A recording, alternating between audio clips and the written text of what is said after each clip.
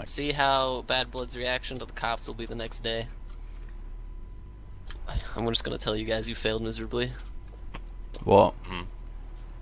Right, pretty.